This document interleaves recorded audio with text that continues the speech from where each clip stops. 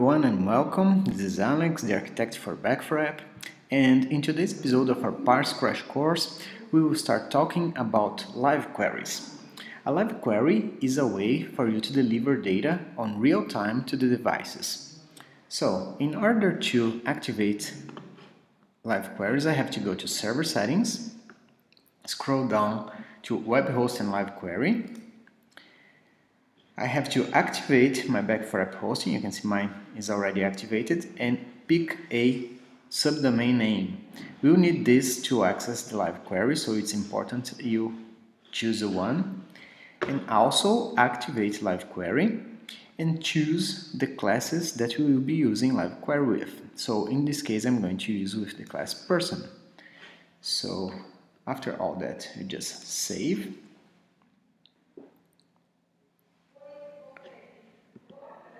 and if you go back to core and to my person class you see I have all my persons here. So let's do some coding. If I go back to my code the first thing I have to do is to uh, create a new live query client. So let live query client equals parse dot live query client. And then I have to instantiate a new client. So let client equals new live query client. And this will receive a few parameters that will pass as a JSON object. So the first parameter is the application ID, which you can grab from here. The second one is the JavaScript key. You can also retrieve it from there. And the third one is the server URL, which you can retrieve from your server settings and web host and live query.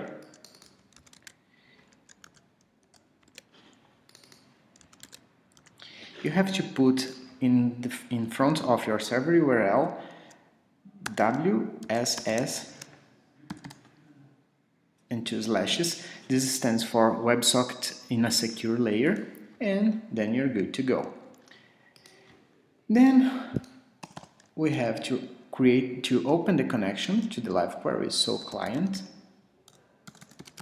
dot open and live queries will filter all results with a query. So I have to create a, query for my person class. So let query equals new parse.query and I'll query my person class.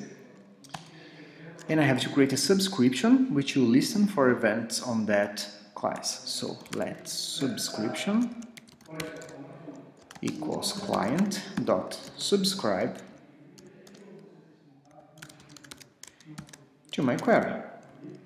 And now I'm ready to listen to events for that class. So for this example, I will listen for update events, but uh, on next videos, I'll show you how to listen for other events. So subscription dot on, and every time I have a update,